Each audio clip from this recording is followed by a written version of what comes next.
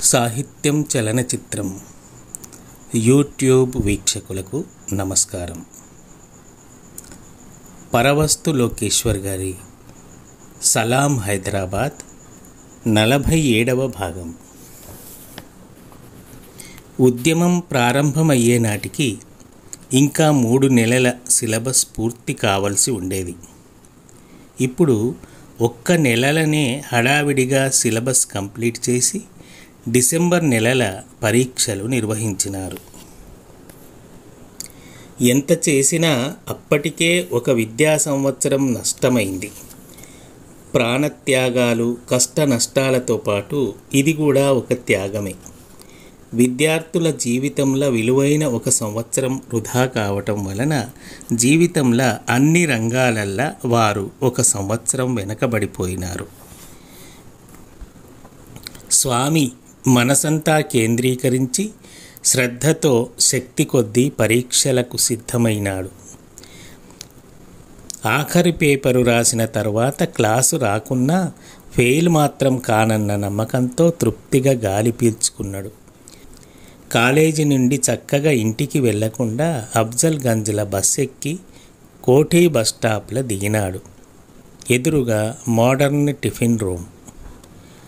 నగరంలో పంతొమ్మిది వందల అరవై తొమ్మిది సంవత్సరంలోనే కోఠీల మోడర్న్ టిఫిన్ రూమ్ ప్రారంభమైంది. అతి తక్కువ రేట్లతో సెల్ఫ్ సర్వీసింగ్ ఆలోచనలతో ప్రారంభమైన మొదటి హోటల్ అది. పదిహేను పైసలకే ఇడ్లీ. ఇచ్చే ఇడ్లీలు రెండే అయినా సాంబారుకు మాత్రం నో లిమిట్. కేవలం సాంబార్తోనే పొట్ట నింపుకునే నిరుద్యోగులకు విద్యార్థులకు పేదలకు ఆ హోటల్ వరప్రసాదంగా మారింది. ఒక వెజిటబుల్ బిర్యానీ తింటే ఇక ఆ పూటకు భోజనం చింత తీరినట్టే.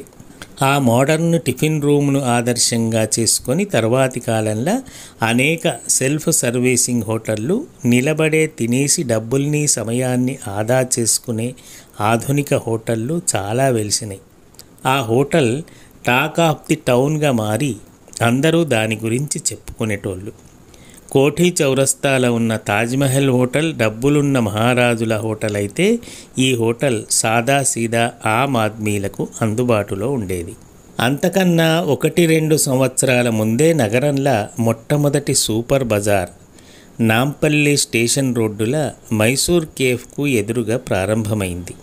అప్పటి వరకు కిరాణా కొట్టుల సరుకులను చిల్లెరగా కొనుక్కొని కాగితం పొట్లాలల్లా కట్టించుకొని తీసుకుపోయేటోళ్ళు. దానికి బదులు ఈ సూపర్ బజార్ల ప్లాస్టిక్ సంచులల్లా పాలిథిన్ పేపర్లల్లా సరుకుల్ని అందంగా ప్యాక్ చేయటం కొనే ముందు ఆ సరుకులన్నింటినీ ఎగ్జిబిషన్ తరహాల సందర్శించడం కొనుగోలుదారులకు వింతగా కనబడేది. ఈ సూపర్ బజార్లే తర్వాతి కాలంలో బిగ్ బజార్లుగా ఫుడ్ వరల్డ్గా రూపాంతరం చెంది వినియోగదారుల జేబులు కత్తిరించే జేబు దొంగలుగా మారినవి. పాలిథిన్ సంచుల కాలుష్య ప్రమాదం ఈ సూపర్ బజార్ల పుణ్యమా అని ప్రారంభమైంది.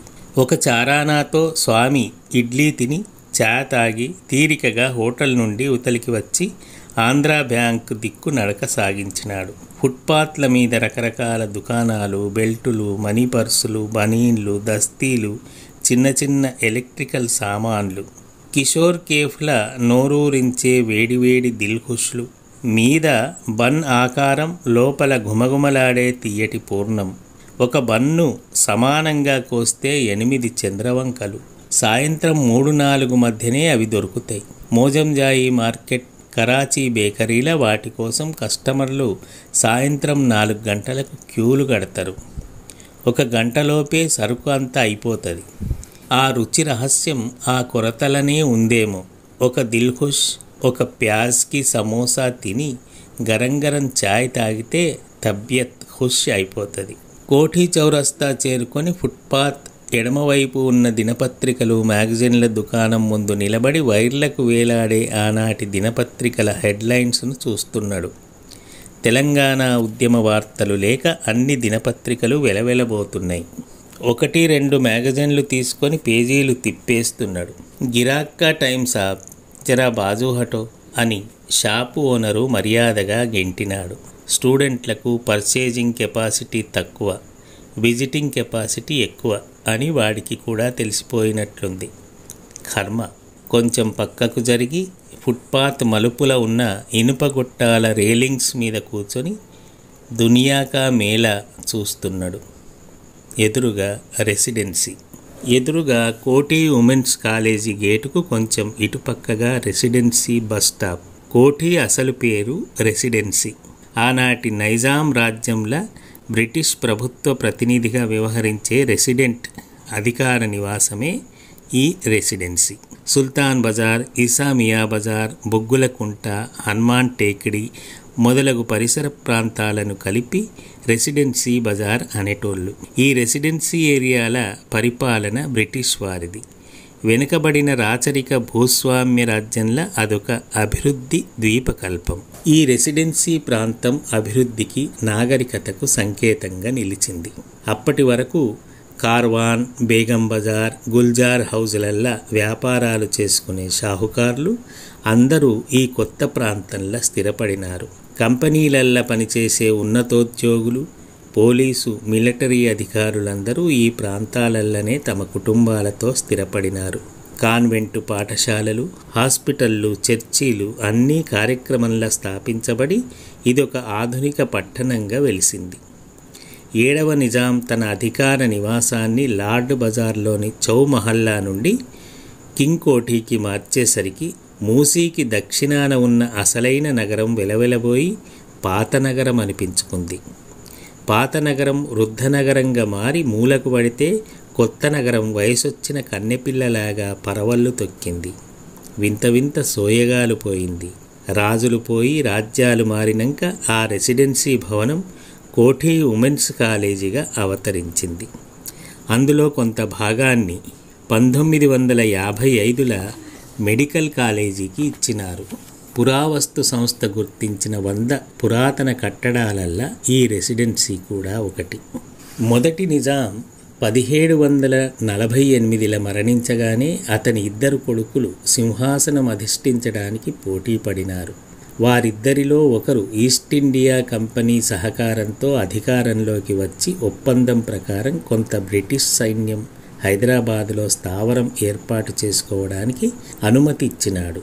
ఆ సైన్యాల ఆజమాయిషీతో పాటు నిజాం రాజ్య వ్యవహారాలపై ఒక కన్నేసి ఉంచటానికి కంపెనీ వారు ఒక రెసిడెంట్ను నియమించినారు. మూసీ నదికి ఎడమవైపున నైజాం నవాబుకు ఒక బంగళా ఉండేది. దానిని రెసిడెంట్ అధికార నివాసంగా కేటాయించినారు. తర్వాత కాలంలో major James Achilles Kirkpatrick రెసిడెంట్గా ఉన్నప్పుడు ఆ పురాతన భవనాన్ని సమూలంగా తీసివేసి నూతన నిర్మాణాన్ని చేపట్టినాడు. పద్దెనిమిది వందల రెండులో ఆ భవన నిర్మాణం ప్రారంభమైంది. అదొక అద్భుతమైన పాలరాతి మందిరం. ఆకుపచ్చ వనంలో విరిసిన ఆకాశ హర్మ్యం. ప్రజలు దానిని బడే సాహెబ్కి కోఠీ అని పిలిచేవారు. స్థానికులు ఆంగ్లేయులను సాహెబ్లని పిలిచేవాళ్ళు. కిర్క్ పాట్రిక్ ఖైరున్నిసా బేగంను ప్రేమించి పెళ్ళి చేసుకున్నాడు. ఆ ప్రేమ చిహ్నంగానే ఈ రెసిడెన్సీ వెలిసిందని ఒక కథ ప్రచారంలో ఉన్నది.